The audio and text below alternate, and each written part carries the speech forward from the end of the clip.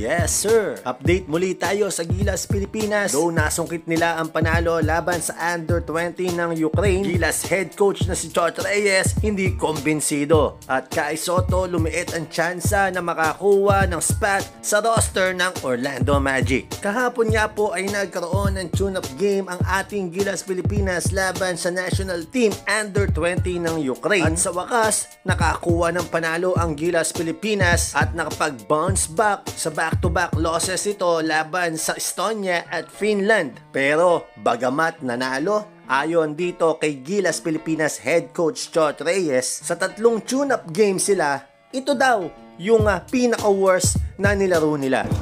But uh, to be very honest, although we won this game, I, I still think that there were a lot of defensive lapses.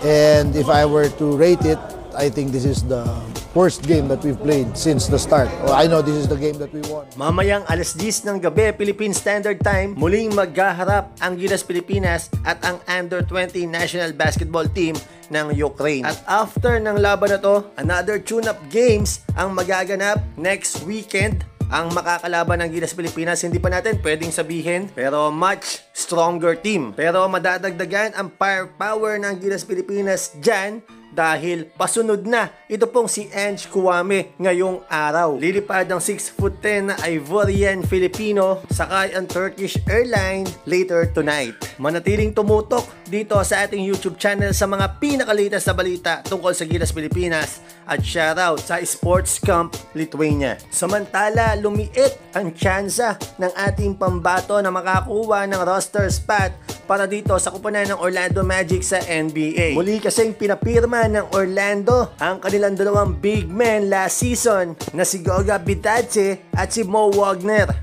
na inaasahang magiging backup center ni Wendell Carter Jr. Sa kasalukuyan, may dalawang bakanting two-way deal spot ang Magic at hopefully makuha ni Kai Soto ang isa doon. But anyway, the good thing is, though kahit na naglaro si Kai Soto dito sa Orlando Magic sa NBA Summer League, pwede siyang isign ng iba pang mga NBA teams. Pero nakadepende pa rin yan sa magiging performance ng ating pambato. Sabi nga ni Sir Kinito Henson, it's now or never na para dito kay Kai Soto sa kanyang NBA dream.